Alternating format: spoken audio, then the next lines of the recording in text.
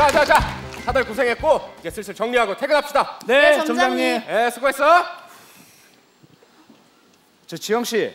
네? 아 오늘 일도 힘들었는데 끝나고 맥주 한 잔 저 같이. 맥주 안 좋아해요. 아 그럼 소주를 한 저 잔. 소주 안 마셔요. 그럼 막걸리에다가 저 술 끊었어요. 그럼 커피라도 한 잔 하실래요? 저기 빨리 마무리하죠. 어? 아 무슨 일이에요? 접시를 떨어뜨렸어요. 저 어떡하지? 아 만지지 마요. 아 만지지 말라고요. 자칫하면 경동맥을 건드려요. 아 움직이지 마요. 그러다 밟으면 큰일 나. 아 진짜. 왜 이렇게 말을 안 들어요? 다치면 안 돼요. 지영 씨가 다치면 내가 더 아프니까.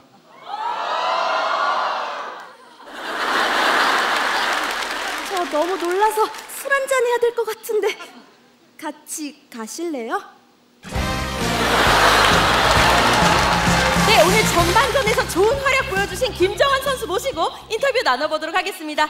김정환 선수, 오늘 전반전 경기 어떠셨나요? 아 일단 상대 선수가 아침마다 입에서 술 냄새가 풀풀 나는데 술을 끊었다면서 깜짝 놀랐고요.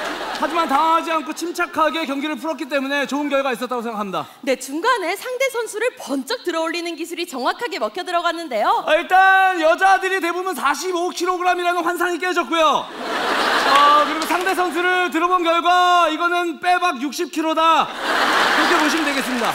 앞으로 상대 선수와 후반전이 남아있는데요. 어떻게 풀어가실 계획이십니까? 어, 일단 술을 마시기로 했기 때문에 후반전은 술집에서 진행할 생각이고요. 어, 술집에 가서 거기 있는 잔을 다 어, 깨버릴 생각입니다. 어, 왜 술집에서 잔을 다 깨버리신다는 거죠? 그래야 계속 안고 있을 수 있으니까. 정말 안 넘어갈 수가 없겠네요. 자, 그럼 하이라이트 보시면서 인터뷰 마치겠습니다. 저 안 무거워요? 어, 저안 무겁냐고요? 빼박 60kg라고!